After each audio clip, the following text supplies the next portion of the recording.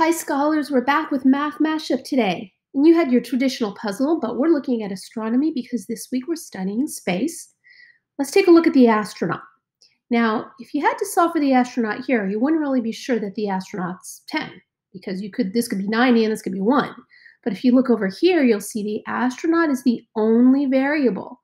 10 times or 11 times 10 is 110.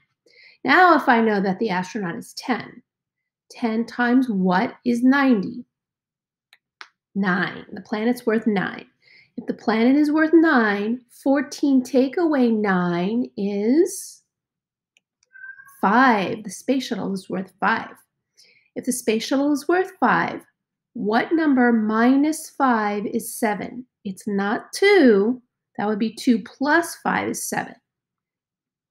It's 12. 12 take away 5 is 7. I have two spaceships here. 5 and 5 together make 10. 10 times 12 is 120. I hope you had fun with that.